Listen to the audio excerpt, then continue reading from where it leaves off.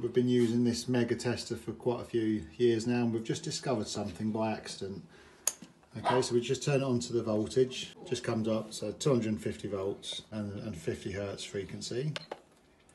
And then if you press the test button, that's testing the voltage between line and earth,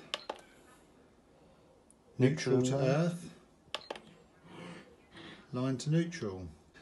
And that's, so we've just discovered that.